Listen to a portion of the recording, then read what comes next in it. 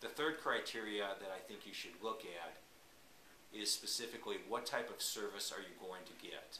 The person that you meet with, are you actually going to meet with an attorney?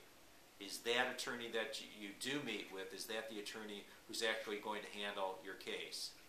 Are they going to return your phone calls? Are they going to send you letters? Who is going to strategize on your case? Are they going to answer your questions? You need to look at all of these qualities when you're trying to make the decision who to hire as your personal injury.